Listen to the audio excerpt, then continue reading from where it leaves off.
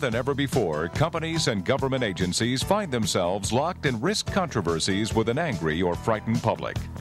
Dr. Peter Sandman of Rutgers University presents his formula for responding to public concern the most perplexing problem in risk communication.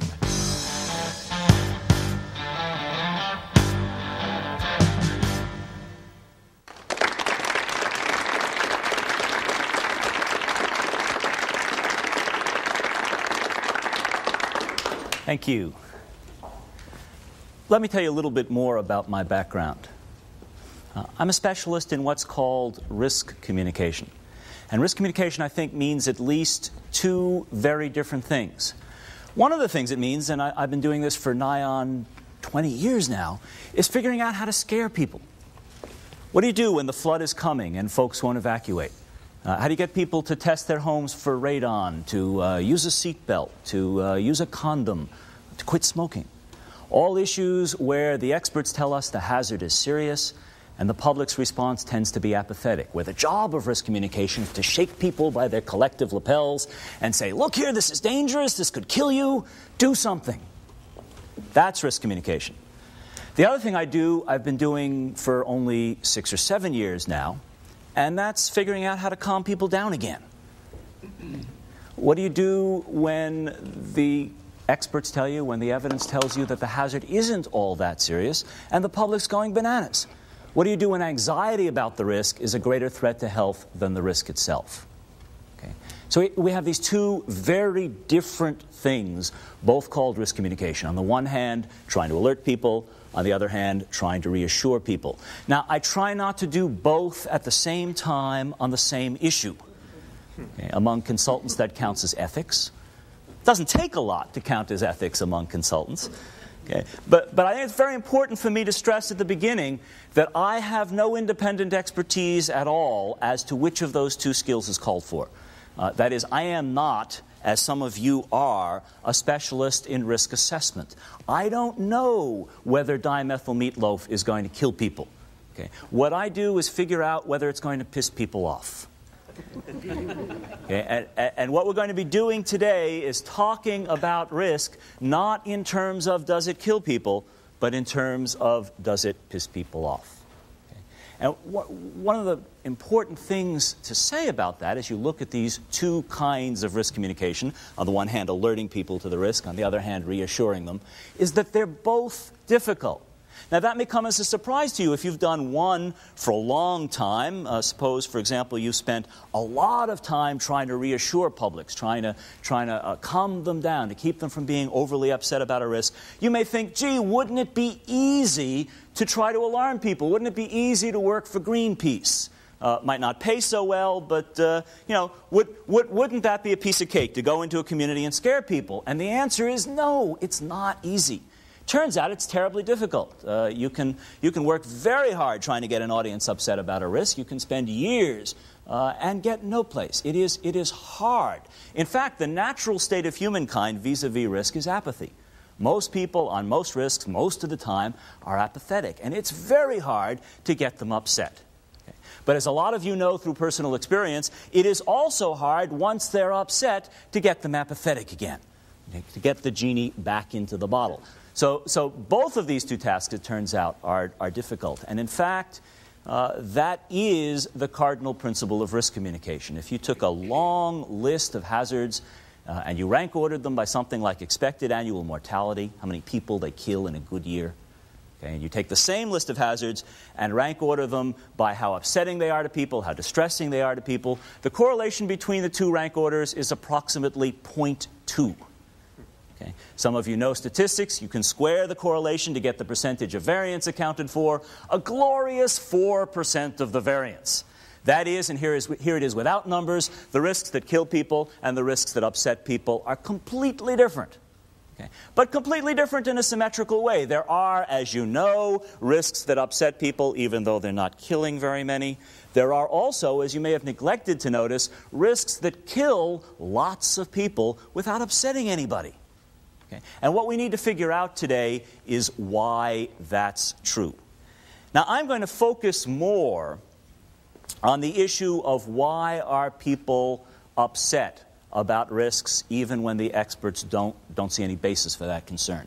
Uh, why do people exaggerate risk? I'm going to focus on that not because it's the more important problem. The more important problem, obviously, is when people are dying and not taking the risk seriously enough. I'm going to focus on the other one not because it's more important, but because it's tougher. Okay? Because institutions seem to be having, institutions in government, in industry, and other, in other organizations, seem to be having enormous difficulty understanding how to deal with concerned publics, with overly concerned, or what looks to be overly concerned publics. So I'm going, I'm going to focus on, on that one. The core problem, the core problem we're trying to focus on, is this miserable correlation. Okay, this very low 0.2 correlation between the risks that upset people and the risks that injure people, that damage people, that kill people. Okay? Now, the question is why that low correlation? And that's a question that, that may strike some of you as a silly question, as an obvious a question with an obvious answer. Uh, the traditional answer of industry, for example, toward the question, why is the public afraid of the wrong risks, is very straightforward. The public's afraid of the wrong risks because the public's dumb. Okay? Which often translates to never went to engineering school. Raise your hand if you're an engineer. How many engineers do we? Ah, yes, you know what I mean, okay? Never went to engineering school. It follows that people are irredeemably irrational. Uh, they will therefore be manipulated by sensational mass media and communist environmental groups. Okay, and you're, you're smiling like, well, he got that right anyway. Okay, and if that's true, then it follows that the right way to deal with the public vis a vis risk is not to deal with the public vis a vis risk.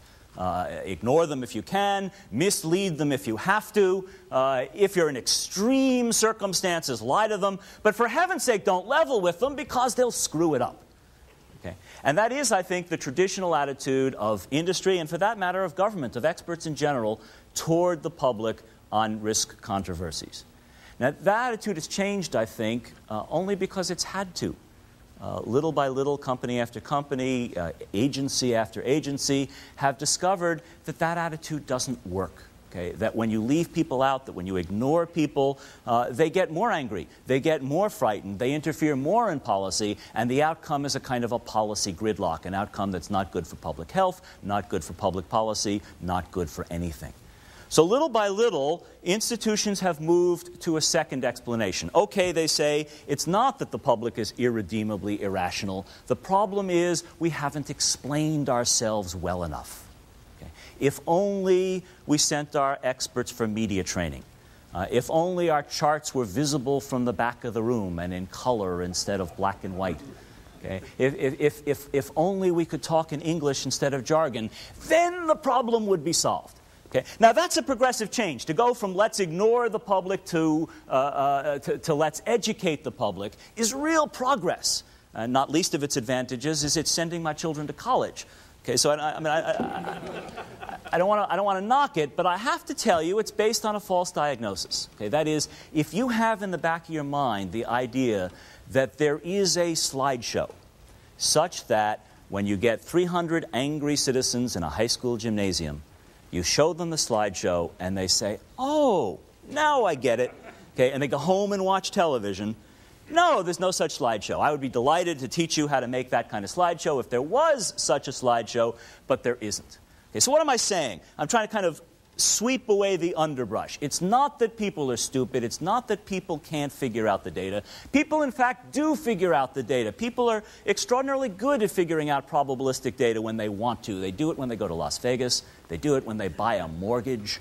Uh, I would put a variable rate mortgage up against any risk assessment that's been done in the United States to date as a complex probabilistic document, uh, and people figure them out.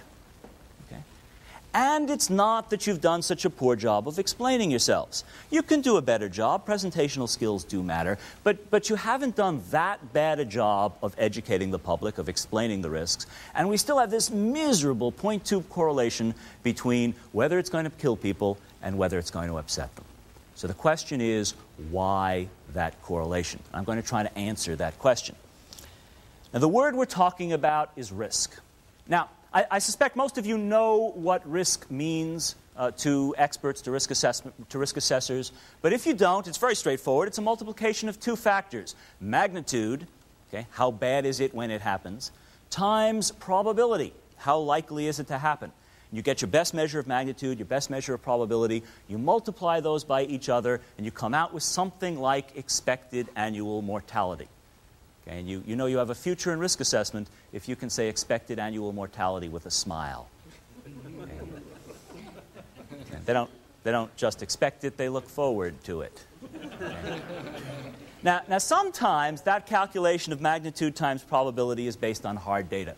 Automobile fatalities, for example, we can go out on the highway and count them. For most risks that lead us to big controversies, though, it's not based on hard data at all. If we look at SARA Title III, we look at uh, most of the risk controversies that dominate our society, and the data are not at all hard. And I suspect most of you know this. If, we, if we're talking about acute risk, we're looking at a branch of magic called fault tree analysis. Uh, and if we look at chronic risk, then we are trying to reason from what happens to small numbers of rodents exposed to one substance at a time in large quantities for short periods of time, and to make judgments about what might happen to large numbers of human beings exposed to small quantities of lots of substances at once over a long period of time. Okay? That is to say, we all know what part of their bodies risk assessors pull those numbers out of. Now, as a social scientist, I have to tell you that's a source of great satisfaction to me. After, after 20 years of working with technical people, at last I found a technical field sloppier than my own. It, it, may not make you similarly happy, but in any case, whether the data are hard or soft, and they're usually soft in this field, what risk means to risk assessors is this multiplication of magnitude times probability. And the problem is that's not what risk means to anybody else may not even be what risk means to risk assessors when they go home at night, but at least in the office they mean magnitude times probability, and no one else does. So let's play fast and loose with the terminology. Let's redefine terms. Let's take what the risk assessor means by risk, this multiplication of magnitude times probability, and for the next couple of hours, let's call that hazard. Now let's take what the public means by risk, all the things that people are worried about that experts ignore, and I'm going, to, I'm going to disaggregate that. I'm going to spread those things out in a minute, but for the moment, let's look at it as one thing and call it outrage. And that leads to the only math I want to offer you today a new definition of risk. I would suggest that properly considered, risk is hazard plus outrage. Now, that that plus sign upsets people sometimes, particularly technical people. So, for those of you with a technical background, I have a different definition. Risk is a function of hazard and outrage. Uh, if you don't know what that means, that means hazard plus outrage in their code. Okay. But they, somehow they find that much more precise. Now, this is a redefinition that makes a difference, and let me try to explain why. The way the problem is usually seen, and remember, the problem is this miserable 0.2 correlation between whether it's going to kill you and whether it's going to upset you. The way that problem is usually seen is as a problem of misperception. Okay? It's as if the experts were in direct contact with the platonic essence of risk, while the public was denied that direct contact, forced to perceive the risk and doing a crummy job. Okay, so you know, if you read the literature or if you listen to experts talking to each other, they're all the time saying the public just doesn't understand, the public just doesn't get it, doesn't perceive the risk accurately.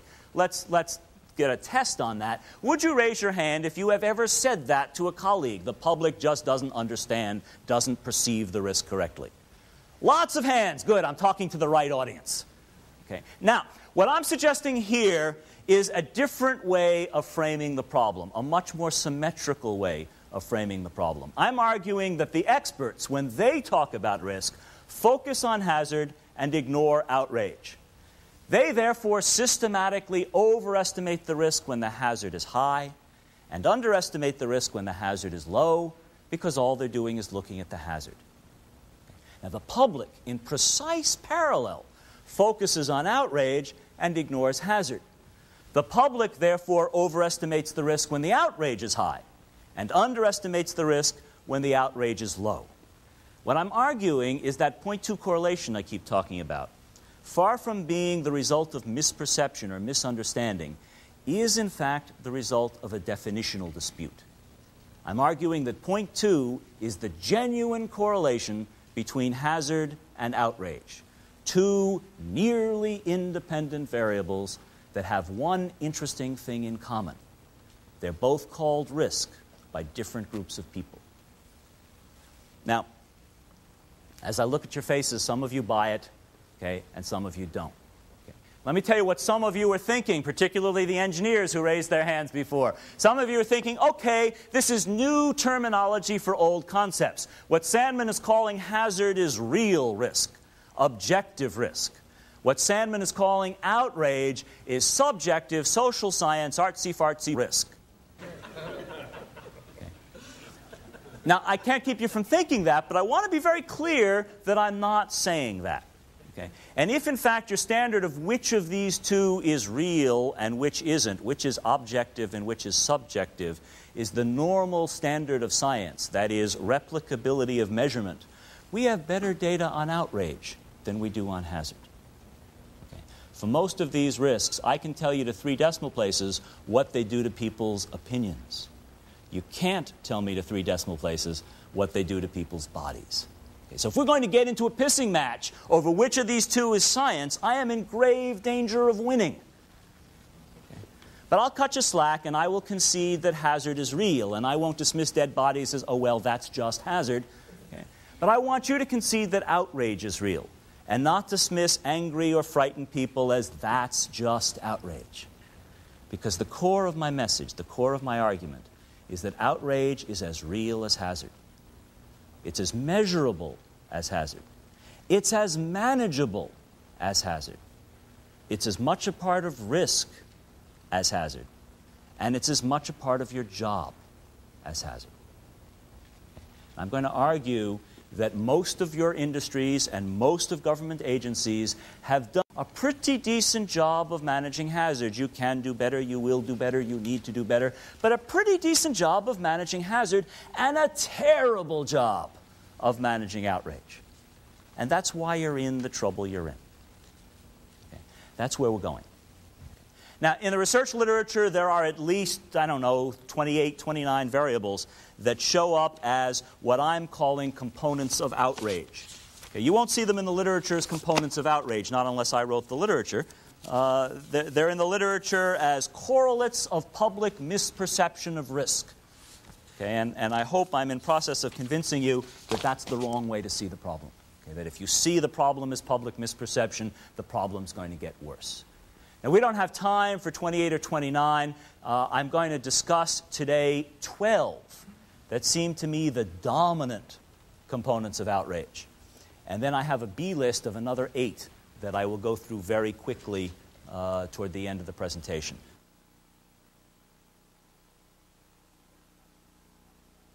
The first one that we're going to talk about is the distinction between risks that are voluntary and risks that are coerced. What I want you to do is think for a minute about the distinction between, on the one hand, deciding to go on a skiing trip, and on the other hand, having somebody rouse you out of bed in the middle of the night, shanghai you to the top of a mountain, strap slippery sticks to the bottom of your feet, and push you down the mountain. Okay. Now, we don't usually think this way, but it's worth noticing the experience on the way down the mountain is exactly the same. Right? sliding down a mountain is sliding down a mountain. Nonetheless, one of these is recreation, the other is assault with a deadly weapon.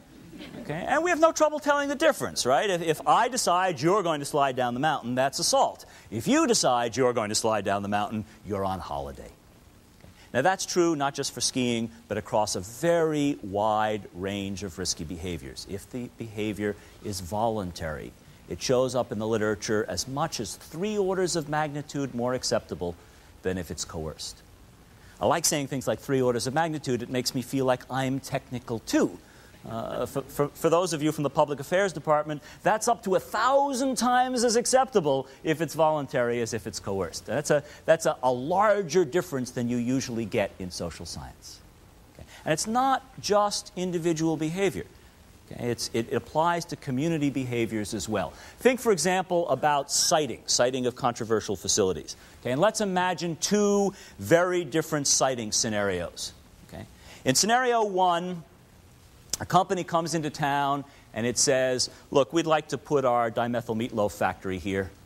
Uh, we don't care whether you want it here or not. We own the land, we own the zoning board, we own the regulatory agencies. If you don't like it, you can move.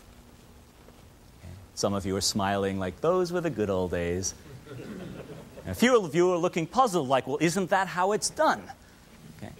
Now, in scenario two, the company comes into town and it says, look, we'd like to put our dimethyl meatloaf factory here, but only if you want it here. So here's what we're going to do we'd like to give you a small technical assistance grant so you can hire your own expert to advise you on what the risks and benefits really are.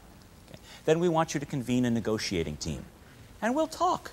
We'll talk about mitigation. We'll talk about compensation. Maybe you want us to bond for property values. Maybe you want stipulated penalties. So if something goes wrong, uh, you can sue us uh, without having to go to regulatory agencies. Whatever you want, we'll talk about.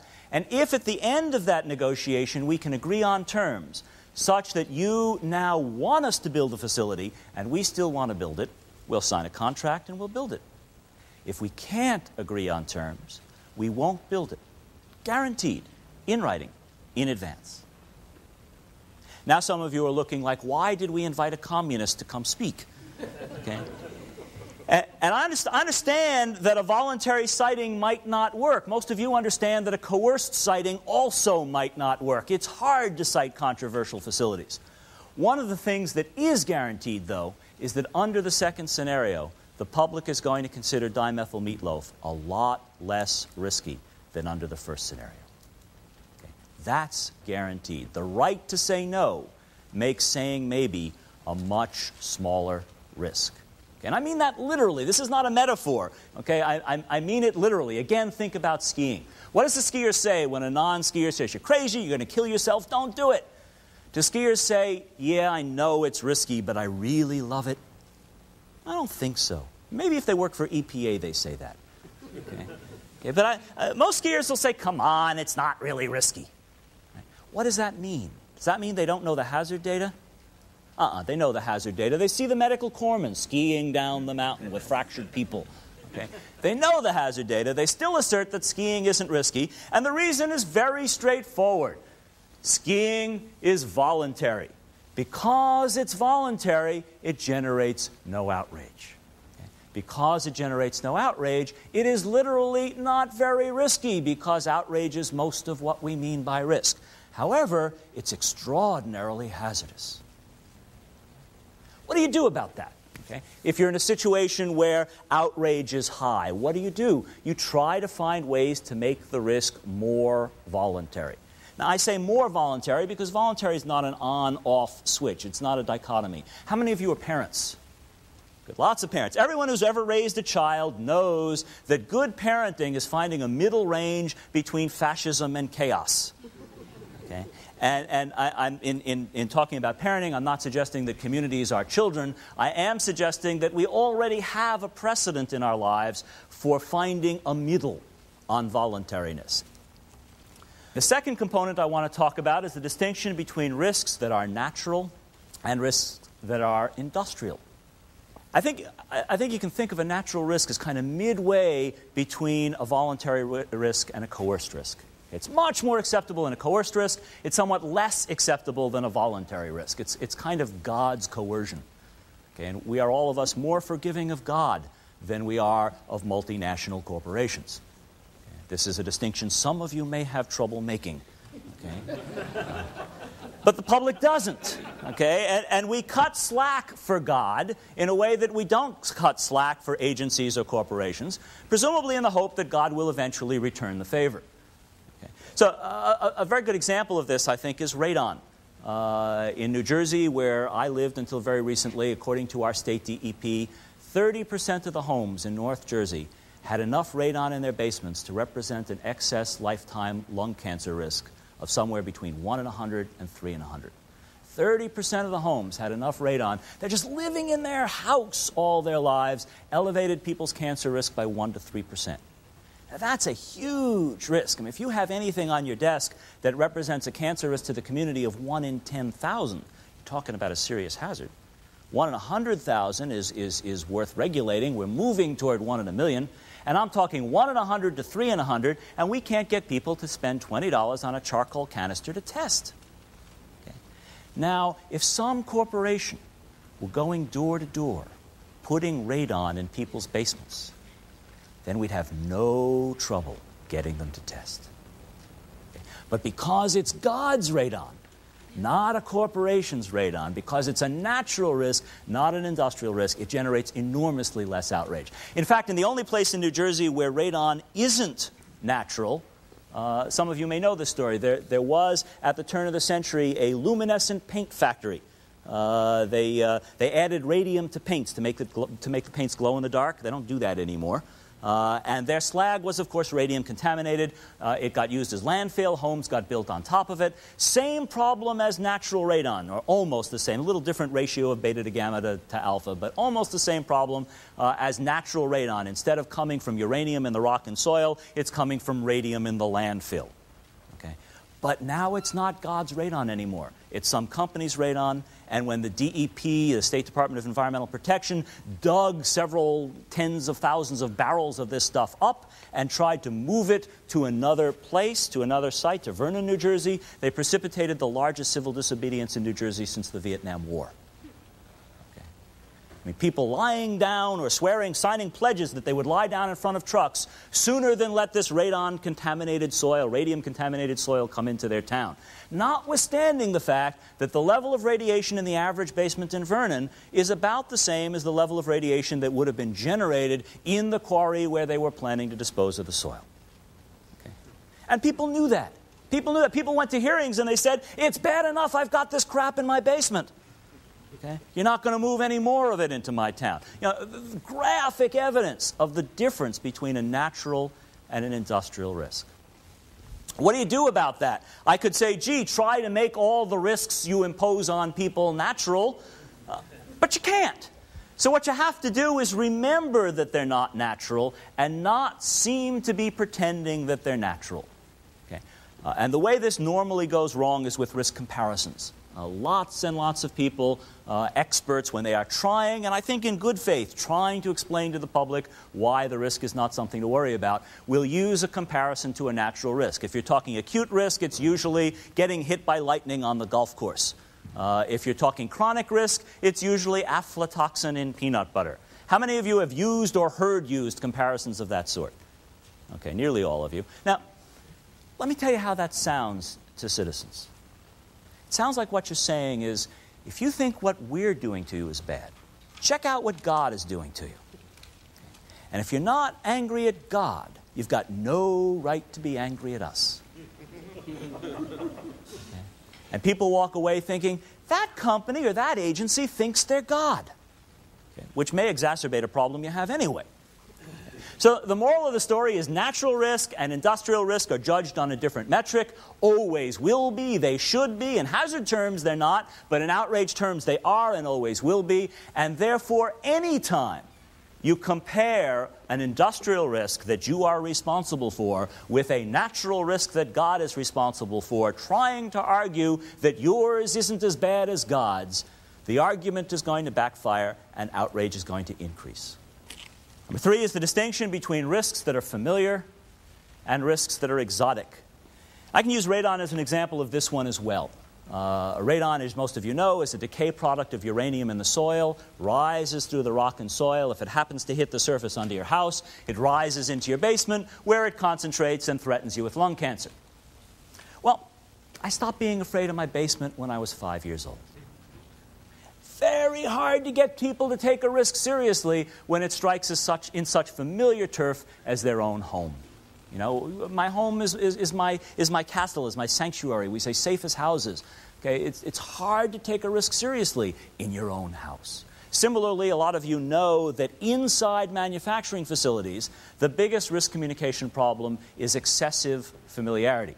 Okay? That is to say, with workers, they, they, they are so familiar with the risks, the outrage goes down. Pretty soon, uh, uh, workers aren't taking the precautions seriously, that the uh, exposure rate is going up, the accident rate is going up, and that the dominant risk communication problem is to figure out how to keep people worried.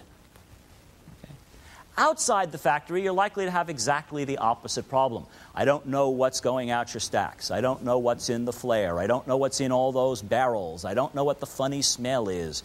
And the more things I don't know, the more outrage I'm going to experience. A beautiful example of this, I think, is the Superfund cleanup. There are occasionally Superfund cleanups. It's not real common, but it does happen. and one, one of the things that we've noticed is just as the cleanup begins, or more properly, just as the remedial investigation begins, they're, they're about to reduce, they're, re, they're about to reduce the, the hazard. Okay? And almost invariably, the outrage goes through the roof. Okay? And, and the principal reason, I think, is familiarity. It was a familiar puddle of crud. Okay? Unattractive, but familiar. Hey, I'll meet you by the lagoon. Okay? And, and, and, and suddenly it goes high tech. There's a, there's a trailer camp of consultants. They're sinking high pressure injection wells. They're bringing a rotary kiln incinerator to the site. People walking around in moon suits. talk about double messages. Did you ever have anybody knock on your door in a moon suit? Just testing your drinking water, nothing to worry about. Well, all that high tech paraphernalia it increases the outrage enormously. Okay, so just just as the hazard's about to go down, because a familiar risk becomes an exotic risk, the outrage goes up. And the solution is very obvious given this diagnosis. The solution is very straightforward. It's make the risk more familiar. Okay, it's displays in shopping malls, it's K through 12 education uh, curriculum materials, it's plant tours. Uh, for the Superfund example, have a little media event the week before the cleanup starts in front of City Hall where you let kids walk around in the moon suits. You demythologize the technology, you demythologize the risk, you make people familiar with the risk. Now, notice I'm not saying make people familiar with the benefits. Okay? Oftentimes, uh, companies in particular think if only people understood how wonderful this product is, how good it is for the society, then things would be much better. And that's sometimes useful, but it's not nearly as useful as companies imagine. What we're talking about when we talk about familiarity is exactly the opposite of the intuition, the instinct of a lot of corporate folks and, and I think a lot of government folks as well. Okay? Your instinct is, gee, we want to reassure people, we better not tell them anything about the risk. We better not tell them anything scary if we're trying to reassure them. Okay? And it turns out, that sounds like it ought to make sense, but it turns out it usually works the other way. Okay? Because you're not telling us, because we're not familiar with the risks, instead of being reassured, we are very alarmed. We are alarmed by what we don't understand. Most of us can see this if we, if we go outside our own field. Uh, imagine, for example, uh, I don't know, imagine the issue of accidental nuclear war. And let's look at two different Pentagon speeches on accidental nuclear war. Okay? In, in speech one, uh, the Pentagon says, oh, we never worry about accidental nuclear war. Couldn't happen. You know, it's a figment of peaceniks' imagination. In speech two, the Pentagon says, oh, yeah, accidental nuclear war, we worry a lot about that. We've got a whole division that goes to bed every night, get up, gets up every morning, trying to figure out ever more sophisticated ways to make sure we'll never have an accidental nuclear war. We think we're doing a good job. We think we've, we've got the problem under control, but we never give up. We take that problem very seriously. Which speech is more reassuring? The second one. Which speech usually gets given? The first one. Okay? So the goal is to make us familiar with the risks, level with us about the risks, so they lose some of that capacity to provoke outrage. Number four is the distinction between risks that are memorable and risks that are not memorable. Uh, and the list says not memorable because in each case I want to look at the safe side of the dichotomy, the safe side of the scale, and the safe side of this one is not memorable. What does memorability mean? Memorability is kind of the flip side of familiarity. If familiarity is to what extent have you lived with a risky situation without anything going wrong, memorability is how easy is it for you to envision something going wrong. Okay. Now, the source of memorability, of course, is personal experience. I mean, people who live through floods take floods more seriously. But it doesn't require personal experience. A real good replacement for personal experience, when we look at the memorability of a risk, is the media especially television. I've never been to Bhopal, I've never been to Chernobyl, but I learned from television and, and, to a lesser extent from newspapers about the risks of nuclear power and the risks of chemical manufacturing from those two events. Okay. It doesn't have to be news. I do a lot of work with, uh, with the biotechnology industry, and the memorability of biotechnology risks comes mostly from fiction. It's all those bad movies we saw when we were 13. The gene that ate Chicago. Okay. I'm not saying the risk is fiction. I don't know whether the risk is fiction or not, but its memorability comes very largely from fiction. Okay. Similarly, symbol value has a lot to do with memorability. Uh, most of you probably remember the Alar controversy a few years ago, uh, an additive in apples that uh, uh helps them stay on the, on the tree longer. Um, well, a lot of the memorability of that battle came from the apple as a symbol of innocence, and the poisoned apple as a symbol of the betrayal of innocence. Starting with Adam and Eve, working our way through to Snow White, and on to the latest corporate takeover, we have vivid imagery of the poisoned apple. Okay. Now, every cartoonist in the country used that to talk about Alar, but that's not the point. The point is that every psyche in the country was primed for it, was ready for it. Imagine, if you will, that alar, instead of being an additive on apples, was something you put in pork. Now, I think the Natural Resources Defense Council would have been too smart to go after an additive in pork, but suppose they had. The media would not have been very interested, the public would not have been very interested. Why? Nobody has any vision of pork getting any dirtier than it already is. but apples, apples. Now, now, think about that when you think of two bioengineered food products on their way to market bioengineered pork and bioengineered milk. Okay? If there's any food with more symbolic freight than the apple, it's milk. If pork gets to market first, I would predict it'll sail right through. If milk gets to market first, there will be hell to pay okay? because of the memorability. Okay, so whether, whether we're talking uh, fiction, or we're talking news, or we're talking symbol, or we're talking personal experience, the more memorable the risk is, the more outrage it's going to generate. What can you do about that? I, I could advise you to avoid memorable accidents but you probably don't need me to advise you to avoid memorable accidents. Where, where it's less obvious, I think, is the need to acknowledge the sources of memorability that are already there. I mean, try, try to imagine, I don't know, Richard Nixon talking about his presidency without mentioning Watergate. Okay, or uh, Exxon talking about its environmental record without mentioning Valdez. Okay? And the audience is sitting there waiting to see if the spokesperson is going to mention Valdez. And until they talk about Valdez, you're only half listening, right? The other half of you is waiting to see how they will handle this obviously important issue. Okay? So the moral of the story is if you're Exxon, you talk about Valdez early. You know, you go out there to give your environmental message and you start as the company that brought you Valdez. Boy, are we thinking about the environment now. Whatever it is that's making the risk memorable, whether it's technically relevant or not, talk about it early, voluntarily. Okay? We're waiting to hear about it.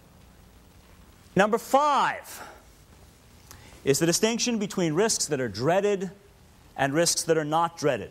Uh, and here again, I'm writing not dreaded because that's the safe side of the continuum. Now, I, I think you have to be a Jungian psychologist to know what dread means, uh, and I'm not. But we all know the outcomes. What's the most dread disease in America today?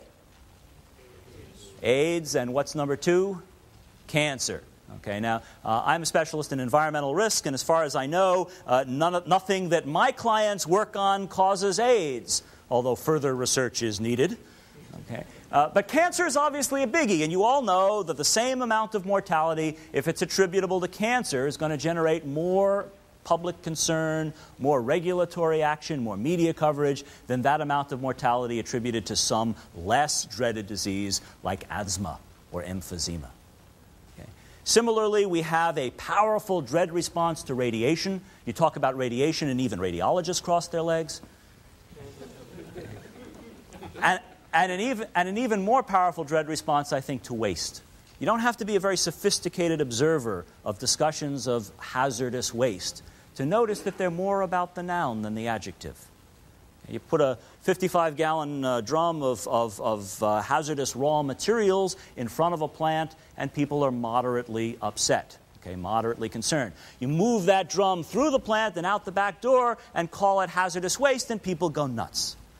Okay? I mean, sometime when you're, when you're watching a discussion of hazardous waste, turn off the sound on the television and watch people's, people's noses wrinkle. Okay, the classic nonverbal communication of disgust. Okay, a very close cousin of dread. Okay. or turn the sound back up and count the number of times people use the rhetoric of control. We have to control the waste stream. Does this remind you of some key event in your life at about the age of two? now, now, I can't prove that discussions of hazardous waste are all about toilet training. Okay? And even if they are, that doesn't mean the issue is a lot of BS.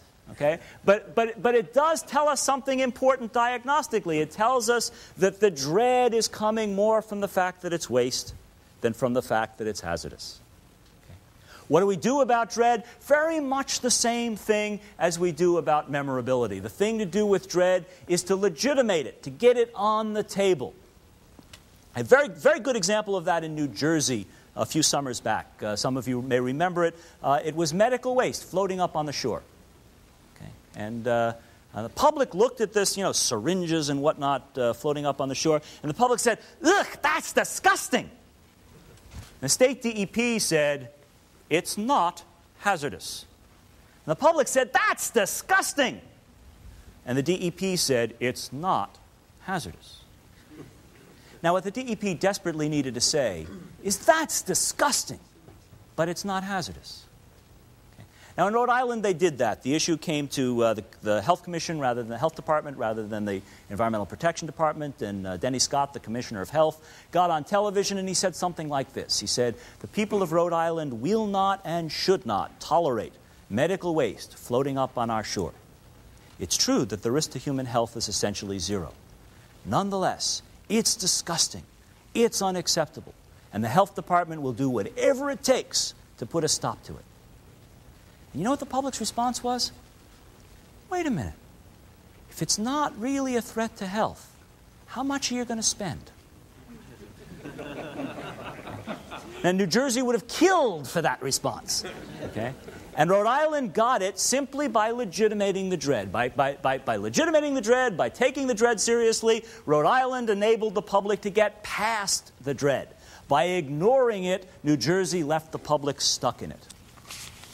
Number six is the distinction between risks that are chronic and risks that are catastrophic. Okay, or, or as this is often thought of, risks that are diffuse in time and space versus risks that are concentrated in time and space. Okay, and I suspect most of you know uh, what's coming here. All things being equal, and all things aren't always equal, but all things being equal, the public is much more concerned about catastrophe than it is about chronic risk the same amount of mortality okay, is going to generate a whole lot more outrage if it comes in great big clumps than if it comes one at a time spread out over space and time. Wonderful example of this is smoking. Smoking kills in the United States about 350,000 people a year. Okay. Imagine that they all had to die on November 13th in Chicago. On November 14th, we would outlaw smoking. We would not allow 350,000 people to die, even in Chicago, without immediately taking action. Okay. But that's not what happens, right? They die spread out over the year, spread out over the country in the privacy of their pain, and that's much more acceptable. Not just to other people, not just to peculiar citizens who don't have a technical education, but in fact to all of us. And let, let me try and prove that to you. Uh, let, us look at two scenarios. We'll make them power generation scenarios. In scenario one, uh, it might be, say, solar power. Okay? And I'm making up these data. Let's say solar power kills 50 people a year. They die falling off their roof one at a time, spread out over the year, while installing or repairing their solar installation. Okay? And again, I'm making up the numbers. Okay? Meanwhile, the second power generation uh, technology, might be some kind of power plant. Let's assume that it has one chance in 10 of wiping out a nearby community of 5,000 people sometime in the next decade. Okay, risk assessors, one chance in 10 over a 10 year period of killing 5,000 people. What's the expected annual mortality? 50. Same as solar power. Now, is there any doubt in anybody's mind that our society will accept a technology that kills 50 people a year spread out and would not for a moment allow the sword of Damocles to hang over a community of 5,000 with anything like one chance in 10 of wiping them out sometime in the next 10 years? Okay. That's not because we're stupid. It's not because we don't understand the numbers. It's not because we can't multiply, because we can't calculate. It's because we have and we share with you and with everyone else a value that tells us that catastrophe is more serious than chronic risk. The same number of deaths, when they come all together, disturb the universe more. Okay? And they disturb our psyches more. What does that mean? It means you have to take uh, acute risk, you have to take uh, uh, worst case scenarios much more seriously. The low probability, high magnitude risk deserves more attention than it gets given a quantitative calculation of expected annual mortality. Uh, it also means that more attention to reducing magnitude would be useful. Uh, that is, when the public looks at the high magnitude, low probability risk, it is looking mostly at the magnitude. It's looking at how many people might die and reducing that number, addressing that number, taking that number seriously is terribly important. You can't say to people, it's true, we might end the universe, but it's highly unlikely. The seventh factor I want to talk about is the distinction between risks that are knowable and risks that are not knowable. This is really several factors taken together. Part of knowability is uncertainty. Okay? Uh, what, what, how, how, uncertain is the risk? How, how large is the error bar? Now, that's, that's a factor, interestingly enough, that the public takes much more seriously than the experts. If you look at two risks, here, let's create two risks. The right side is the dangerous side.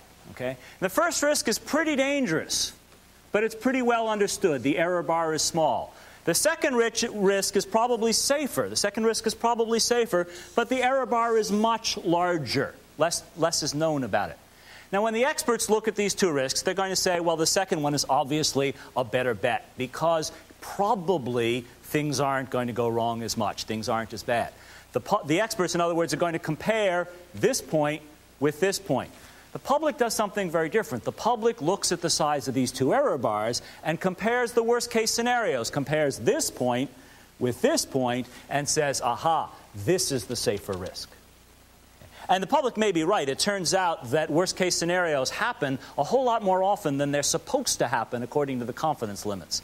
Uh, so the public may have some wisdom there. But whether it's wise or not, what the public is doing is worrying a whole lot more about uncertainty than the experts are. Now, even worse than uncertainty as a component of knowability is expert disagreement, what Lois Gibbs calls dueling PhDs. I think you know exactly what I mean. One expert says, I eat it for breakfast, uh, and the other side's expert says, even thinking about it will give you cancer. and, and, and, the public's response to that kind of, of, of expert disagreement is extraordinarily conservative, extraordinarily cautious. Uh, they did a wonderful study at Carnegie Mellon, uh, and the example they used was EMF, power transmission lines. And one bunch of people read a news story, a hypothetical news story, in which all the experts quoted said power transmission lines were pretty dangerous, say seven on a hypothetical 10 point scale. Another bunch of people read a news story where half the experts said it was seven and half the experts said it was three. Okay, half the experts were much less alarmed. The second story was more scary than the first story. Now, if you think about that for a minute, it's not so strange. If all the experts say it's seven, it's probably seven. If half the experts say it's seven and half the experts say it's three, obviously they don't know what they're doing. It might be 14. Okay? Another piece, I think, of, of this issue of knowability is detectability. Um, I was at Three Mile Island and uh, some of you may know there's kind of a disaster beat among reporters. So, reporters at Three Mile Island were hugging each other, saying, Gee, I haven't seen you since Jonestown. Uh, fairly thick skinned people, okay? But, but they were frightened at Three Mile Island. It's the only time I've ever seen a room full of reporters rush a press secretary and demand to be moved further from the story, okay, which is not usually what reporters want. Uh, and I asked a reporter who'd been through wars and hurricanes and all kinds of risky situations, I said, Why are you scared here? And his answer, I think, was very revealing. He said, Look, at least in a war, you know you haven't been hit yet. Okay. Eloquent testimony to the undetectability of radiation in particular, but of carcinogens in general. Okay. And in fact, you'll never know whether you've been hit. Even after the latency is over and you get your cancer, it doesn't come with a tag that tells you where you got it. So, whether we're talking about uh, uncertainty or we're talking about undetectability or we're talking about expert disagreement, all of those are going to contribute to the knowability problem. And that, of course, in turn is going to contribute to the outrage. Now, what can you do about unknowability? Okay. Sometimes you can make the risk more knowable. Wonderful example of that was an incinerator controversy in Japan. Uh, the big issue with incinerators, of course, is temperature. You want them to burn hot enough so that they'll burn completely. Uh, and that was an issue in this particular Japanese community. And the resolution of the battle was a seven foot neon sign on the roof of the incinerator hooked to the temperature gauge. So if a citizen wanted to know if it was burning hot enough, all she had to do was look out the window and look. Now, I happen to think that sign reduced the hazard. Okay, because I think engineers exceed tech specs less often when they do it on a seven foot neon sign. But whether it reduced the hazard or not, clearly it reduced the outrage because citizens could find out for themselves whether the incinerator was operating correctly. Okay, because the risk became more detectable, that made it more knowable, that made it less a source of outrage, and that made it literally less of a risk. Similarly, when you look at uncertainty and expert disagreement, the worst one of the two is, of course, expert disagreement. Uncertainty is bad enough, expert disagreement is worse. You can often convert expert disagreement into uncertainty simply by reporting a range. And look at a typical risk controversy. Along comes a company and it says the risk from this contamination is uh, uh, 10 to the minus 8. And along comes EPA and it says, no, uh, that's not a conservative enough calculation. We calculated at 10 to the minus 7. And then Greenpeace sticks its oar in and it says, no, you're both lying through your teeth. It's actually 10 to the minus 6. And people listen to that fight is it 10 to the minus 8, 10 to the minus 7, 10 to the minus 6, and, and gets a strong impression that the experts don't know what they're doing, that the risk is extremely uncertain, and therefore extremely serious. Now imagine if instead of reporting 10 to the minus 8, the company were to say something like this Well, we think the risk is 10 to the minus 8. But we've talked to EPA and they think it's 10 to the minus 7. We've even talked to Greenpeace. They think it's 10 to the minus 6. It's somewhere in there, 10 to the minus 6 to 10 to the minus 8. Now, if you're a risk assessor or if you're an attorney, the idea of, of playing fast and loose that way with two orders of magnitude sends a frisson of terror down your spine. Okay, and, and I understand that. But in communication terms, reporting a range takes most of the outrage out of the situation. Okay, number eight is the distinction between risks that are controlled by the individual and risks that are controlled by the society. Okay, I like this one. This is a neat one. It's, it's like, control is like voluntariness, but it's different. Voluntariness is who decides, control is who implements. Uh, if, for example, your spouse asks you to go to the store and pick up some groceries, the trip to the store is not voluntary. Okay? Not in most households, anyhow. Uh, but you're still in control because you're driving. Driving is, in fact, a good example. Raise your hand if you feel safer behind the wheel than in the passenger seat. Okay, nearly all the hands are up, and that's consistent with the data. 85% of the American public consider themselves better than average drivers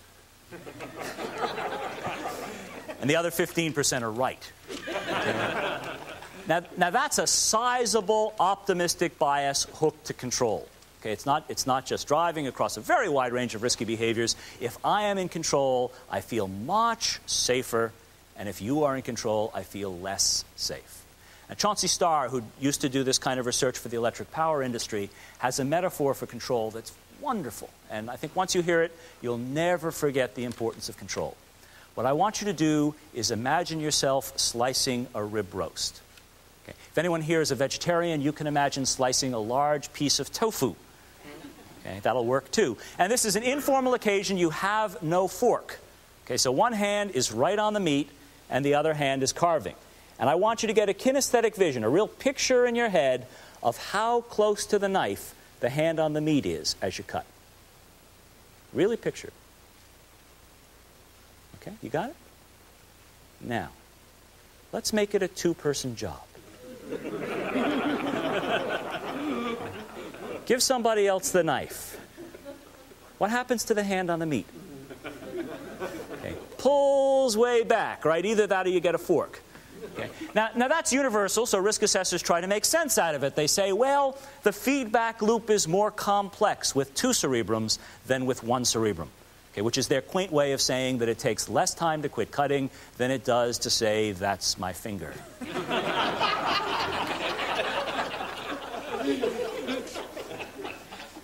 and that's true. But we intuitively know that's not why our hand pulls back, right? We don't think, oh dear, the feedback loop just got more complex. Okay? The, reason, the reason our hand pulls back is most of us feel as long as we've got the knife, the risk to neighborhood fingers is quite low. Okay? And if somebody else has the knife, the risk to, neighborhood, to neighborhood fingers has just gone way up. Now, that's true even if you give the knife to your spouse or your neighbor, to somebody you like. Now, imagine giving the knife to a multinational corporation. Okay? Imagine giving the knife to a faceless, bureaucratic regulatory agency. In most risk controversies between communities and companies or between communities and agencies, the company or the agency is holding the knife. The community is holding the meat. Okay? The community, in fact, feels it is the meat. And the company or agency isn't just holding the knife, it's waving it around like a chef in a Japanese restaurant saying, It's safe, it's safe, it's safe. And it is if you've got the knife. Okay? But it's a lot less safe if you've got the meat. Now, I think all of these are important. But control is so important that it's almost a contradiction to do what institutions so often try to do in risk controversies. I mean, so typically, you've got two messages to the public in a risk controversy. Your first message is get your hands off my knife. Okay? It's my company or it's my agency. We're in charge here. We've got the expertise. We've got the mandate. We own the land. Get out. Butt out. Don't bother us. And the second message is don't worry very hard to hear that second message through the outrage generated by the first. It's very hard to simultaneously disempower people and reassure them. Okay? So the reassuring message gets lost. Now, what to do about it is very straightforward, and we can all think of ways to reduce that feeling of you're in control, I'm not in control. Basically, we're talking about sharing the knife. We're talking about community advisory boards. Uh, if you look at SARA Title III, we're look, talking about powerful local emergency planning committees. We're talking about negotiation with environmentalists. Uh, maybe we're talking the Valdez principles, environmentalists on your board, uh, uh, public environmental audits from, from outside auditors. It's not hard to think of ways of sharing control. The problem is that it's hard to want to share control. Nobody wants to share control. I mean, I, am a college professor. We don't share control with students unless we have to. Nobody likes sharing control. I, I, gave this speech a few years ago to the board of directors of the Chemical Manufacturers Association. You know, 40 chemical company CEOs in golf clothes. Okay. And, and they were very nice and very responsive uh, until I got to power sharing, until I got to control. And I thought somebody was going to have a coronary. Okay. I mean, these are CEOs. They don't share control with executive vice presidents. They have pissed in the four corners of the company, and it's theirs. okay? And if you think they're bad, talk to an audience of regulators. I mean, at least, at least with a company, you can say, if you share control, you might make more money, and companies like money. Okay? Government agencies aren't allowed to make money. They go to jail if they make money. Okay? And all they've got is power. Okay? And if they share it, they've got less. And over their dead body, they're going to share control. But, but the data are very clear. Okay? That it's almost a contradiction. It's almost impossible to hold on to the control, to disempower people, and simultaneously to try to reassure them. So, finding ways that you can live with to share the power is enormously important in beginning to reduce the outrage.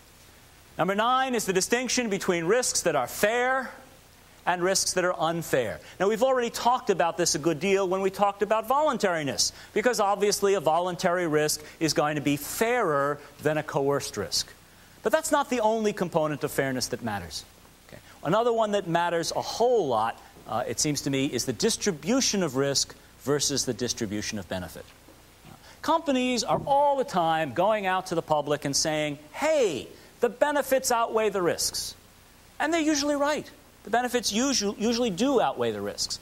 But that claim turns out to be pretty irrelevant if, as so often happens, the benefits are going different places than the risks. Look, for example, at a manufacturing facility.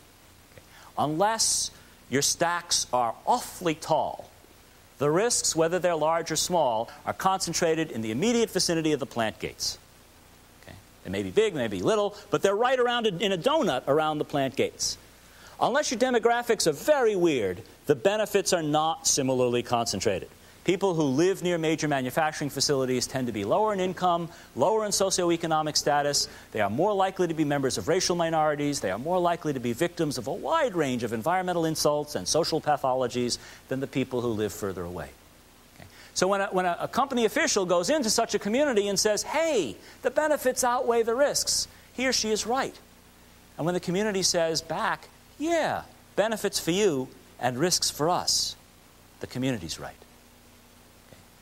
And, and, and what's important to remember here is that accurate perception from the community that the risk is not fairly distributed makes the risk a large outrage. And that makes the risk a large risk. So I am arguing that an unfair risk is by definition a big risk okay, because it's a big outrage. Okay. What do you do about that? Well, you share the benefits in proportion to the risks. But that's a problem. You can't really go into a community and say the bad news is we're going to give you cancer, the good news is we're going to build you a park. Okay? Because people will feel bribed, won't they? Okay, and they'll take the, uh, the quality of the park as a good measure of how much cancer you're bringing and, and, and the strategy will backfire. So, what you wind up having to do is yoke control and fairness, bracket those two together, uh, and, and go to the community and say, look, to the extent that we can reduce the risk, we will, and we should, and we must. To the extent that we can't reduce the risk, we are obliged to compensate you for it. What do you want? And at the point at which the community says, give us a park, okay, at that point, the community no longer feels bribed. Now, the company at that point or the agency at that point may feel blackmailed. Okay? And, uh, and, and I'm sensitive to the fact that outrage is a two way street and, and feeling blackmailed isn't a nice feeling, but I have to tell you it's a good sign. Okay? You know, when, when you are feeling blackmailed instead of them feeling bribed, that suggests that the power has been redistributed more equally and the fairness is being redistributed more equally, and you're well on your way to reduced outrage.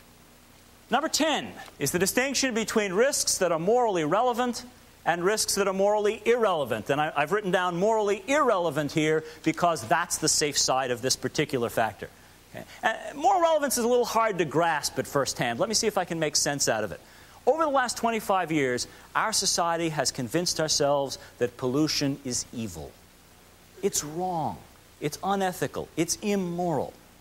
Now, that's a paradigm shift. That's a terribly important change in social values. It's something to be proud of. It's like deciding cannibalism is wrong, independent of the quality of the protein. Slavery is wrong, whether or not it's a good way to grow cotton. Okay, and we've similarly decided that pollution is wrong, and we've separated that moral judgment from the instrumental calculation of how much harm is being done. That's good. That's something to be proud of, but it brings a problem with it. And the problem it brings is once you've decided something is morally relevant, it's not just a matter of harm, but it's a matter of morality, the language of trade offs becomes unusable. Okay. Trade offs of risk against benefit, trade offs of risk against cost is the only rational way to talk about hazard. It is an unacceptable, immoral, callous way to talk about outrage. Let me see if I can make that clear.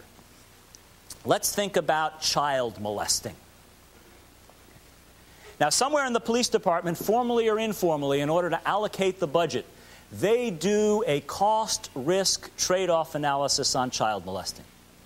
Okay, does everybody agree? You can't allocate a budget without either, either on paper or, or, or casually looking at the trade offs. How much money you can spend to reduce the number of molested children by how many children. They do that.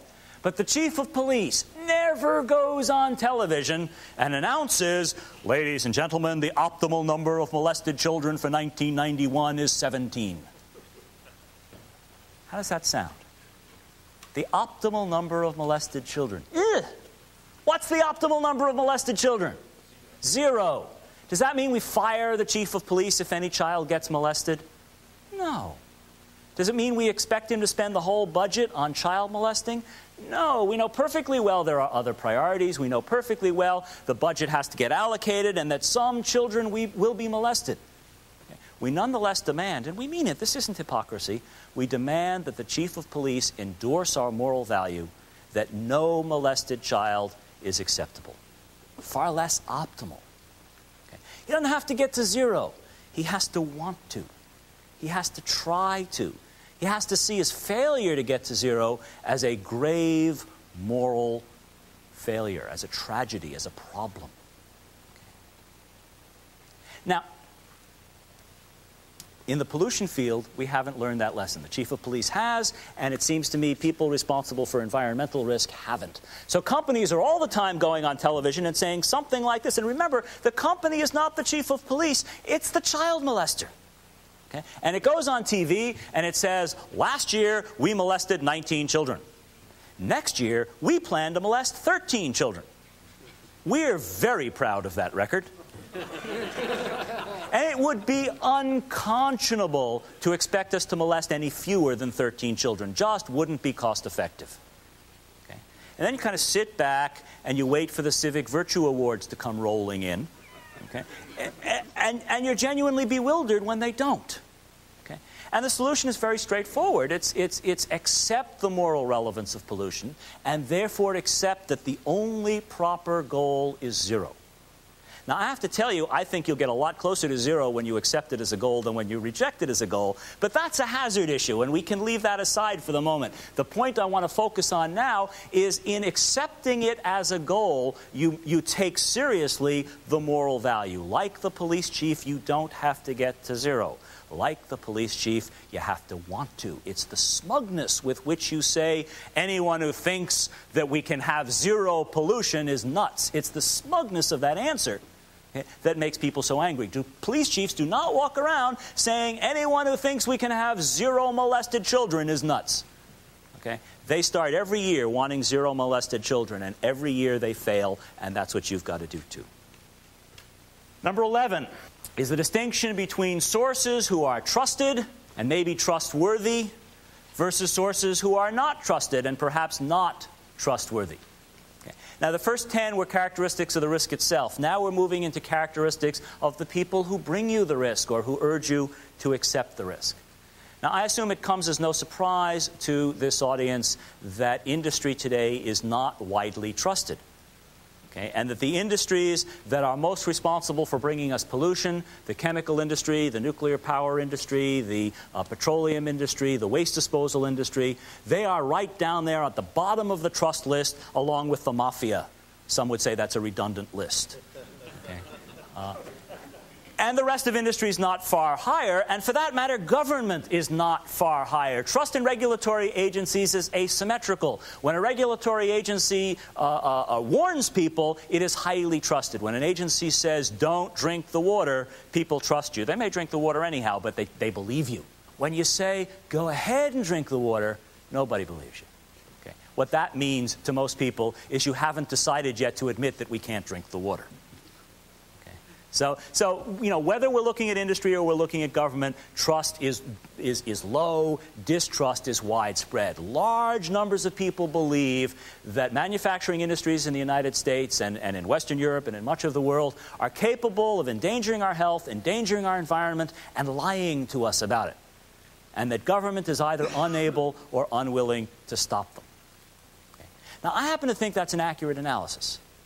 I think that uh, uh, the history of, uh, of health and environment in this country has adequate evidence that, in fact, companies have been uh, unwilling to protect us and unwilling to level with us, and that agencies have been unable or unwilling to stop them. Uh, but we don't have to agree on that. Okay? We really don't have to agree on, uh, you know, many of you may think it's a bum rap and the environmental protection record and health protection record of industry and government are superb. What we have to agree on is that lots of people share my sense that industry and government can't be trusted. Okay? And that has two important implications. Okay? The obvious implication is over the long haul, you're going to need to learn how to get trusted. You're going to have to build trust. That's very hard. It's not easy. It's a lot easier to lose trust than it is to build trust. And over the long haul, that's got to happen. That's the long term implication. The short term implication is less obvious, and I think it's more important. Okay. Given that you're not trusted, given that trust is a slender reed, and when you lean on it, it breaks, you need to stop asking to be trusted. I mean, it is, there's, a, there's, a, paradox about trust. The more you ask to be trusted, the less we trust you. I mean, this is so clear that the stereotype in our society of, of, of, of the sleazy, untrustworthy person, I don't know, the, the used car salesman, what does he say? Trust me. Right? You ask us to trust you, we check our wallet, we check our, our, our, neighborhood for leukemia, we check our endangered species list to see what's missing, uh, and we notch the outrage up another couple of notches. You can't afford to ask to be trusted, it backfires. So, what do you ask instead? It seems to me, instead of trust, the bottom line is accountability. And many, many of the accountability mechanisms, I think, are very much like the control mechanisms I talked about when I talked about sharing power, sharing control. We're talking about community advisory boards, we're talking about um, uh, negotiation with environmentalists. We're talking about powerful LEPCs, other institutions, so that you can assert, and this is true whether you're government, whether you're industry, whatever, wh- wherever your role is, so that you can reliably assert to a public that isn't likely to trust you, hey, you don't have to trust us. They're looking over our shoulder. They're looking over our shoulder. They're looking over our shoulder. Don't trust us. You don't have to. And the irony again is the more you say that, the less you ask to be trusted, the more likely we are, in fact, to trust you. Now, it's not, it's, the problem is not thinking of accountability mechanisms. We can do that. The problem is deciding that you, in fact, want to be accountable. Nobody likes the feeling that they can't be trusted. We all feel we can be trusted. We know ourselves to be honorable people, and I am confident that you are honorable people, and we feel we can be trusted. So we have great difficulty thinking in terms of how do I make this accountable. And any number of companies in the last several years have developed strategies for reducing their effluent and reducing it substantially 60, 70, 80, 90%. Most of them have not developed strategies for proving that they've done that. So, what's going to happen? Along comes the XYZ Corporation and it says, We've reduced our, our SARA Title III effluent by 80%. And the community or some community group says, Prove it. And the XYZ Corporation says, well, yeah, here's the chart. Here's our graph. See how it goes down. That's the proof. And the community or the community group says, well, I don't believe your chart. You cooked the data. How can, how can I believe your chart? And you know what the company's response is? Nothing. What do you mean you don't believe my chart? You know, I'm an, I'm an accredited engineer. You know, we're a multinational corporation. They don't lie. You know, to which the public's response is, yeah, sell me a bridge. Okay? okay. So, so, I mean, I, I, think these companies are setting themselves up. They're doing wonderful things, they think, they claim, and I believe them, but no one else is going to believe them. Okay? And it's not hard and it's not expensive to make those improvements accountable. I mean, think, think about, I don't know, think about a test, a, a well study. You're going you're gonna study, sample a well and find out whether, you know, how much carcinogen is there. Very often, you know before you start that when you come up with the results, people are going to say, I don't believe your results. Okay? They're going to say, you sampled in the wrong place, you know, you sampled too high, too low, over here, over there, you didn't sample in this backyard, you didn't sample there, you sent it to a lab that can't be trusted, and, and anyhow, you people lie through your teeth. How should I, why should I trust any of your numbers? Okay. Well, that's not hard to solve. You know, you, you, you don't do the sample until you've solved that. You bring in community people, not, not trusting community people, but untrusting community people, the people you least want to see, the people, the people you keep hoping you'll never see again are the ones you invite in. Okay? And you bring them in and you say, okay, let's work out now a sampling strategy that'll work. And I mean, if trust is very low, that may mean split half, it may mean double blind, it may mean the kinds of things medical researchers do. You take six samples, I'll take six samples, and we'll send six to this lab, and we'll send six to that lab, and we won't know which lab got whose samples, and we'll get back all 12 samples, and we'll look at them, and we agree in advance with dummy tables. If the results look like this, It's serious. If the results look like this, no problem. If the results in, are in the middle over here, we'll agree that it's ambiguous and we're not sure whether it's a problem or not. And you do that all before you do your study, before you do your tests. And when you're all done, it may, it may take a year, it may take a long time, but when you're done, instead of a test that you know in your heart, whatever it finds, nobody's going to buy it, okay? You've got a test that people have got to buy. They helped you do it. Number 12 is a distinction between what I'm going to call responsive process and unresponsive process. This is the California variable. Uh, and I could take a whole hour to talk about responsive process, but we don't have an hour.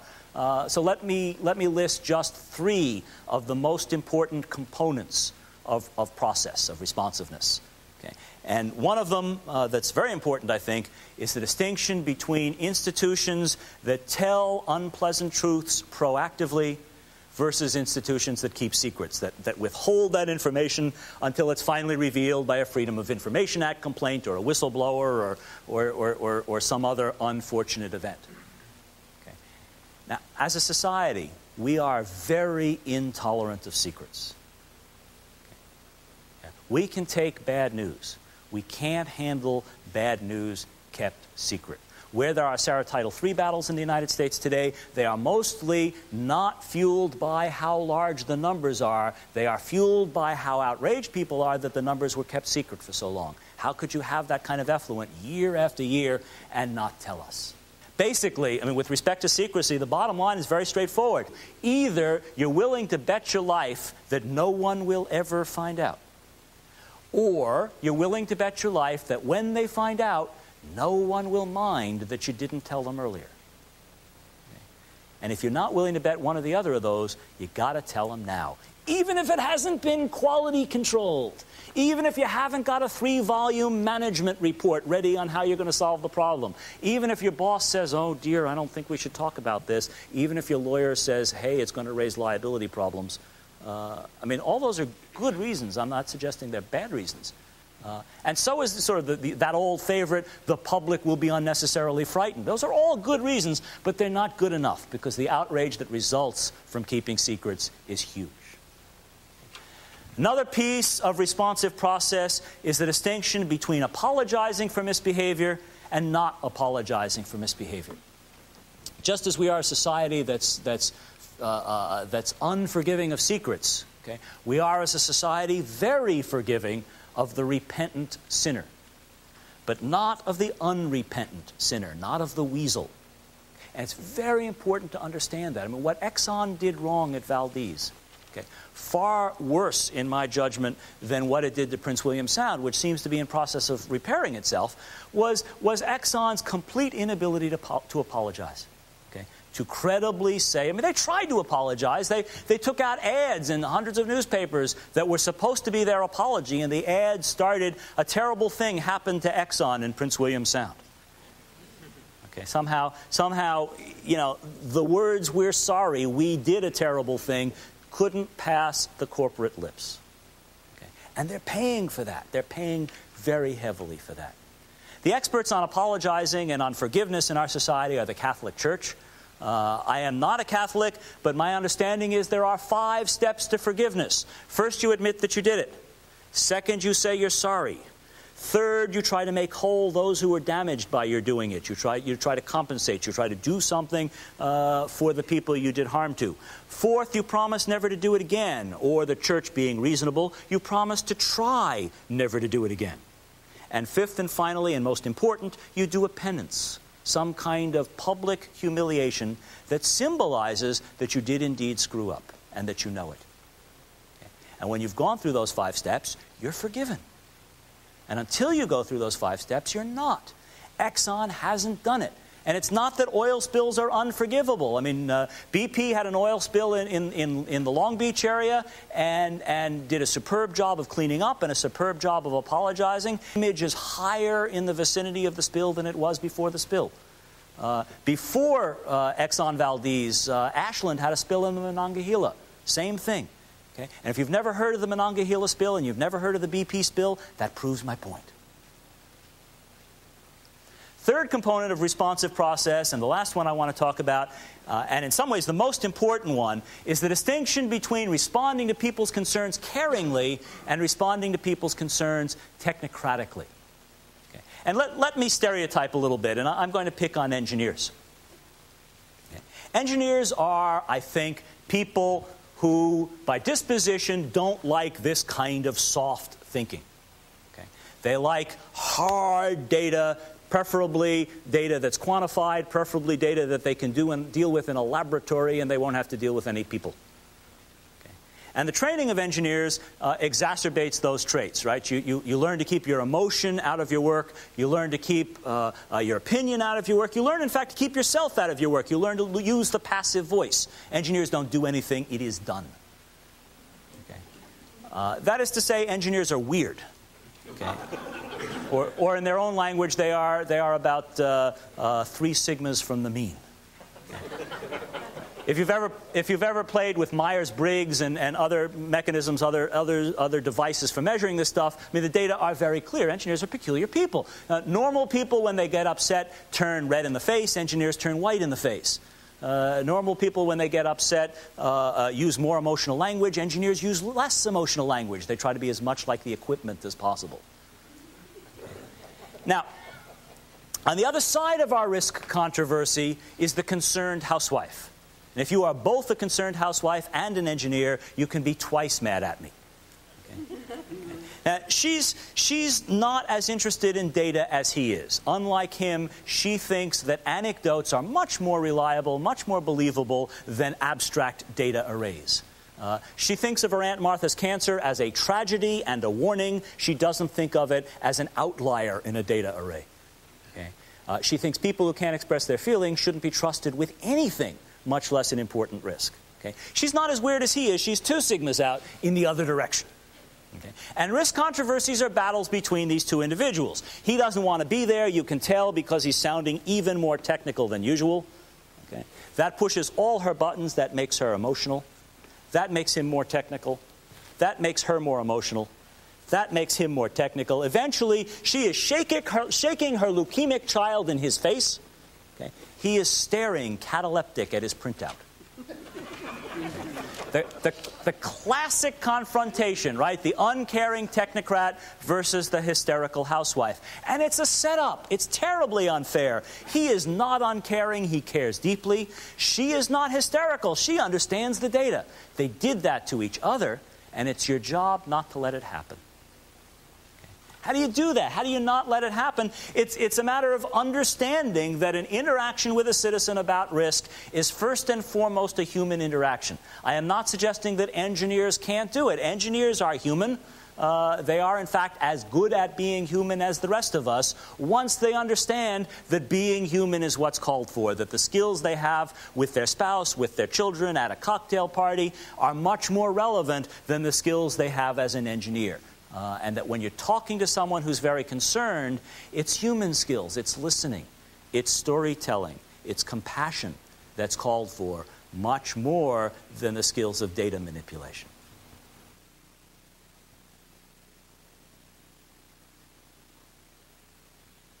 That's the list of 12. Let me give you now, very quickly, a list of eight more. I think these eight are not as important as the other 12, but they often do turn up uh, as important, and I think they're worth knowing about. Number 13, then, is effect on vulnerable populations. We tend to worry much less about workers than we do about citizens in general. And we worry much less about citizens in general than we do about particularly vulnerable citizens, such as old people and sick people, and particularly children. So whether you've got an occupational risk, which is, which is least concerning to people, or an environmental risk, which is more concerning, or a risk to very vulnerable populations, which is still more concerning, is, is a matter of, of, of some importance. Number 14 is the distinction between risks that have delayed effects and risks that have immediate effects. We take risks much more seriously when they seem to lie in wait for us. Okay, when, when, you know, uh, when, when we feel that they're, they're trapping us than we do when the effect is immediate. Now, it turns out that's exactly the opposite of what risk assessors do. Risk assessors discount okay, for delayed risk on, on the perfectly rational basis that it's better to, to die in 40 years than it is to die tomorrow.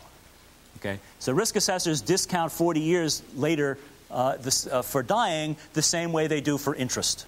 Okay? The public, on the other hand, sees the treacherous delayed risk as a more serious outrage. Number 15 is effect on future generations. Citizens seem to take very seriously whether this is going to affect their great, great, great, great grandchildren.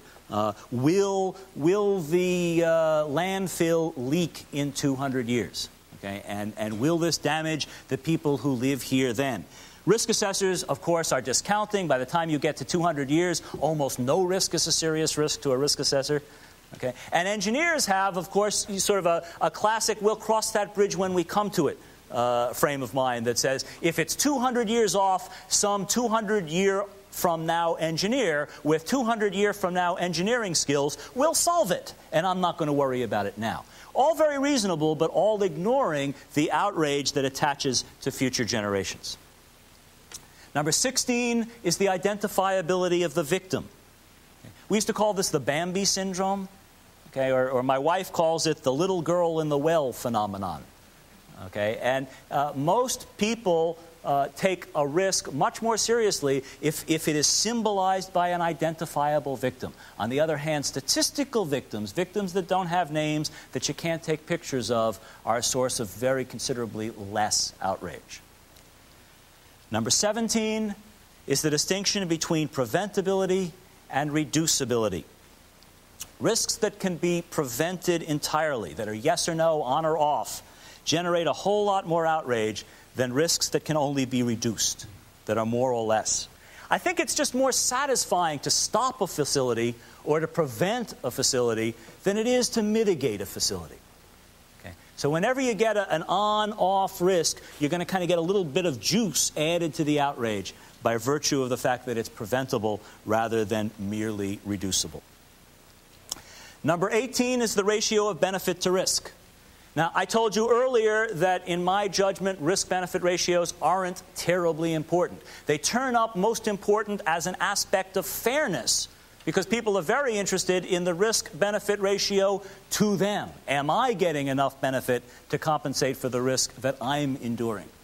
But it turns out that even the total risk benefit ratio does play a role. Not as important a role as risk assessors would like it to play, but it does play a role. It belongs on the B list. Uh, to my judgment, it's surprising, in fact, that people do care as much as they do about how senseless or sensible, uh, worth it or not worth it, the risk is. Uh, people show surprisingly uh, much attention to that and, and willingness to be altruistic about whether there is benefit somewhere in the system. Number 19 is media attention. Now, I think media attention is mostly a result variable. Okay? The media respond to outrage. They stick a microphone in front of outrage. They cover it. They don't create it. But they do amplify it. There's no question that, that, that when the media stick a microphone in front of outrage, uh, they make it bigger, they attract more people to it, they give it attention. Okay, so, so the, uh, the media effect is important. Number 20, and the last one I'm going to cover today, is opportunity for collective action. Outrage feeds on outrage. Okay? More from friends and neighbors than from activists or from the media. Okay? If your neighbor is outraged and, and she tells you about it at the beauty parlor or he tells you about it at the, at the, at the, at the barber shop, okay, the outrage builds, the outrage generates. Okay? and risks that are open to that, risks where collective action is possible. Okay? For example, a proposed industrial facility where you can say, let's have a meeting, okay, are going to generate more outrage because the vehicles are there. Risks like radon, for example, where it wouldn't make much sense to have a meeting, where the risk strikes individual by individual, home by home, are going to generate less outrage because there's less potential for collective action. Now, these 20 are not all there is to risk communication by any means. There's, uh, there are other outrage factors, and outrage isn't the only thing in risk communication either. There's lots of stuff we haven't talked about. We haven't talked about audiences and identifying all the different kinds of people. I've, I've been talking very glibly about the public. But there is no the public, there are lots of publics. Uh, so, so I, I, don't want to leave you with the impression that these 20 outrage factors are all there is to risk, to risk communication. They are, though, I think, a very important handle on risk communication.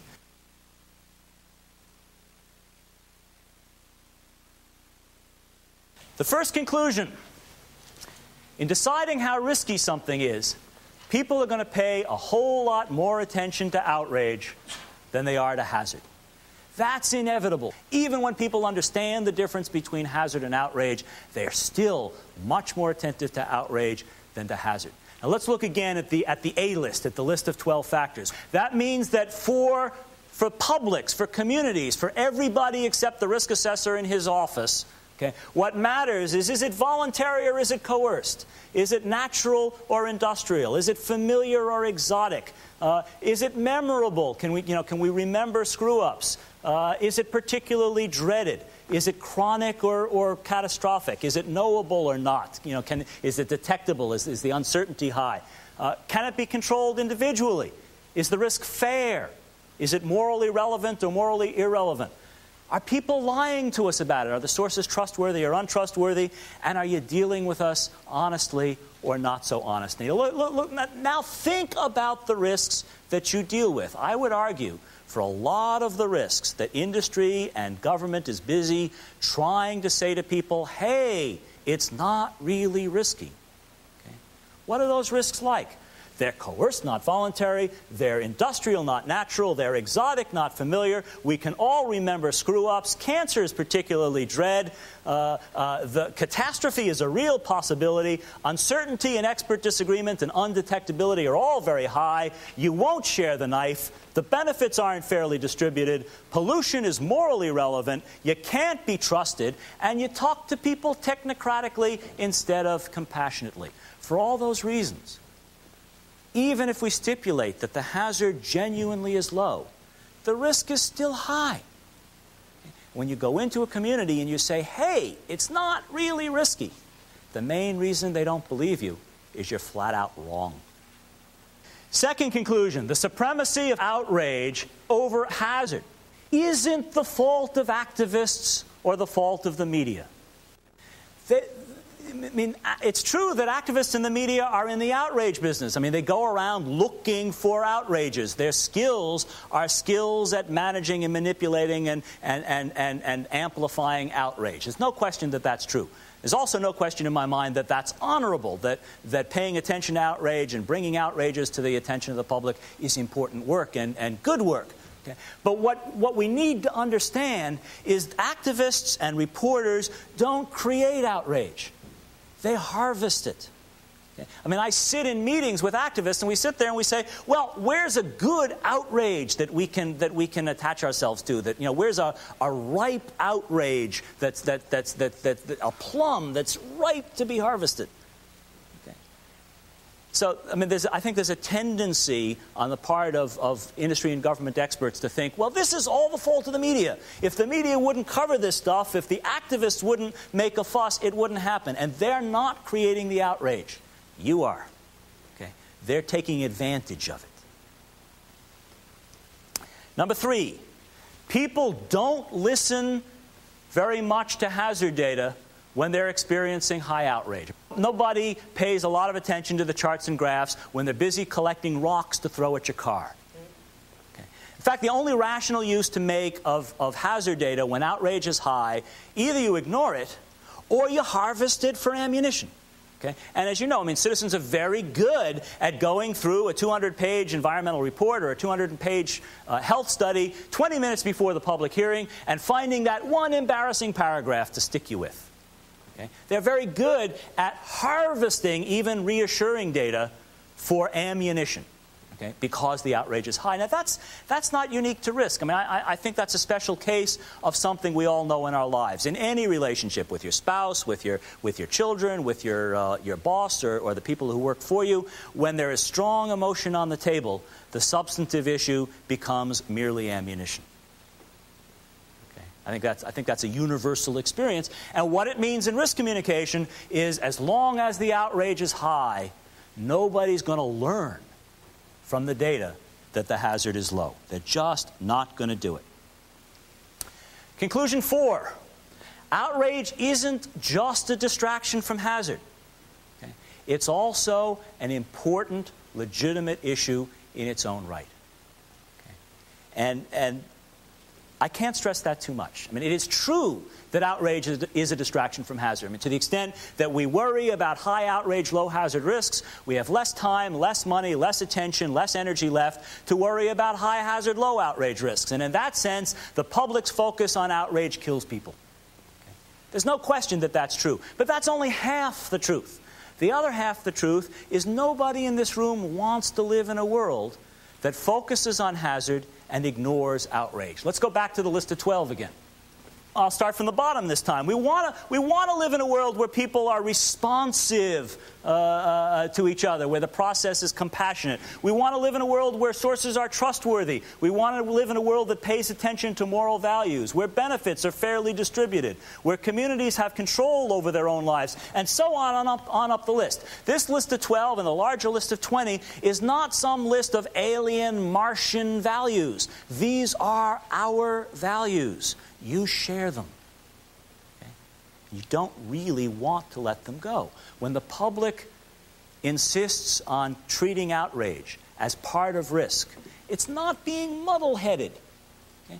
What it's doing is acknowledging that outrage is important, that it really wants high outrage risks to be taken more seriously than low outrage risks, and that it knows the way you do that is to treat outrage as part of risk. That's not muddleheadedness. It is a kind of wisdom, and it's a kind of wisdom that even technical experts share when they put aside their technical hat. Conclusion five In situations where the hazard is high, the job of risk communication is to nurture the outrage. Okay. Now, that's the situation we agreed at the beginning of the speech I wouldn't talk much about today. Okay, but it's important. You know, where, where the hazard is high, what you do is try to get more outrage. Outrage is the engine that gets attention to serious hazards. Wonderful example of that is, is Mothers Against Drunk Driving. Okay, there's a serious hazard that uh, MADD turned into a serious outrage and got progress on the hazard. Okay. Another risk issue uh, where that's been done superbly is passive smoking. Now, passive smoking is less than 10% of the smoking hazard. It's over 90% of the smoking outrage. It's over 90% of the media coverage. It's over 90% of the regulatory activity. Passive smoking as an issue has already saved tens of thousands of lives, 90% of them the lives of smokers who barely deserve it. Okay. Now, okay. That's what environmentalists do. I think it's very important work. Where the hazard is high, that's what the job is to goose the outrage. Conclusion six when the hazard is low, the job of risk communicators is exactly the opposite to reduce the outrage. Now, I'm, I'm, not suggesting that it's not also important to explain the hazard. No one should go home from this presentation and say, uh, Sandman, expert in risk communication, says, don't bother explaining the hazard. That's not the issue. I mean, you want to see outrage. Try not explaining the hazard to people. I mean, you have a, a moral and a legal and a political obligation to explain the hazard data. So I'm not saying don't do that. Okay? What I'm saying is that's not the core job. That's not the central job that's missing. The central job that's missing, where the hazard is low, is to reduce the outrage. Once again, let's look at that list of 12. Okay. There they are. What am I talking about? Find ways to ask permission. Don't compare risks you're imposing on people to natural risks. Acknowledge the way, you know, I'm sorry, make the risk more familiar. You know, talk about it, explain it, make the risk more familiar. Acknowledge the ways in which the risk is memorable. Get those, that memorable stuff on the table. Okay? Acknowledge the dread, legitimate the dread. Take catastrophe more seriously. Increase the knowability. Remember that, that uh, uh, sign on the roof of the incinerator. Find ways to make the risk more knowable. Share the knife. Share the benefits more fairly. Acknowledge the moral relevance of pollution. Build trust and don't demand too much trust. And finally, respond to people honestly, openly, apologetically when you've screwed up, and caringly with compassion for their concerns. That's the risk communication agenda. It's not all about explaining 10 to the minus 6. It's not all about getting parts per billion clearer. It's not about charts and graphs. It's not about explaining the data. Yeah, you have to do that.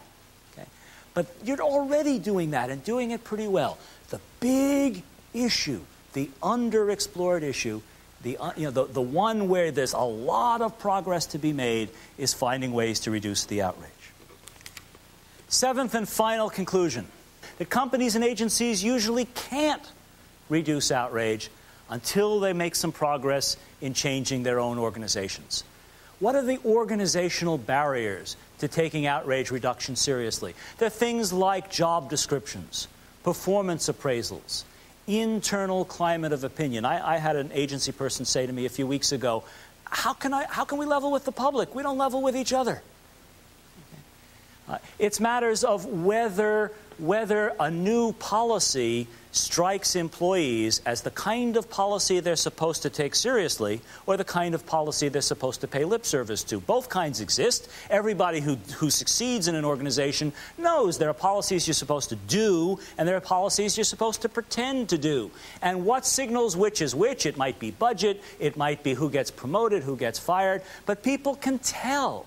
And I talked to a plant manager and he said, Well, why should I pay any, you know, why should I think they mean the new environmental policy? They didn't mean the old environmental policy. Okay. And in situations like that, you're not going to have progress. Okay. If it doesn't pay a plant manager to level with the community, he isn't going to level with the community. The last plant manager shoved all the problems under the rug and he got promoted. Uh, why, why should this plant manager think the right solution is to level with the community, let the outrage out, endure a considerable amount of conflict, maybe, uh, uh, uh maybe some slowdown in productivity, maybe some capital cost to put in uh, equipment that the community demands, maybe you're going to read about it in the Wall Street Journal. Is all of that going to make the boss happy? Okay, maybe not. So lots of companies and lots of agencies have adopted risk communication as a policy that they're not yet sure they mean.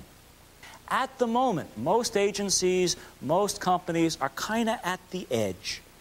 Okay, they're on the edge. They are announcing risk communication policies that are radical changes from the past. They are talking about leveling with the public. They are talking about sharing power. They are talking about building trust and building in accountability. They're talking the right language. And that's real progress. But it's not yet cemented into the company. It's not yet cemented into the agency. There's still kind of a, a sense we're not sure if we mean it. Okay? Our employees aren't sure, our publics aren't sure, and we're not even sure. Now, I'm not skeptical about that. I mean, that's a stage uh, Alcoholics Anonymous has a wonderful slogan fake it till you make it. Okay? I think that's where industry and government are today on risk communication. They're faking it. They may, I think they will, begin to mean it for real. Let's summarize this in terms of four stages. I mean, in, in just five years, it seems to me we have had four stages of risk communication. The first stage I would call the stonewall stage. The public doesn't understand risk, will never understand risk, ignore them. The second stage was the missionary stage. Okay, we've got to educate them. Let's explain to people that it's only 17 parts per million and it's only one, you know, one chance in a million that they're going to die and they shouldn't worry about it. Everything's under control. And the third stage, which began only a couple of years ago, was the dialogue stage. And we're still in the dialogue stage, where we're understanding that explaining to the public the ways in which we're right is only half the job, and it's the less important half. The half that we've been ignoring is listening to the public about the ways in which they're right and working out how we can reduce the outrage. The fourth stage, which we're just entering, I would call the organizational stage. That stage begins with the awareness that knowing what to do and being able to do it are different. And you know, that shouldn't surprise me so much. My message to you, after all, is that you can't just say to people, hey, here's the hazard data, and have them believe it. Okay? So it should come as no surprise to me that you also can't just say to people, hey, here's the outrage data, and expect that they're going to go act on it. It requires work, it requires organizational change, it takes time. But the first step is to see that it can be done. Okay? I hope we've made progress toward that first step today. Thank you.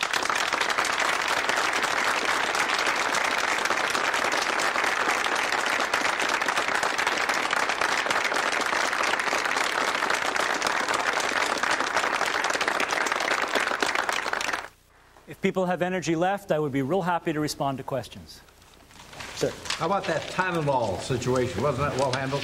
Tylenol is a superb example of beautifully handled risk communication. And I have to tell you that the CEO of Johnson & Johnson was dragging lawyers every step of the way. I mean, he, you know, he sort of walked. Do, do, you remember this? I mean, this, this was the, the cyanide poisoning.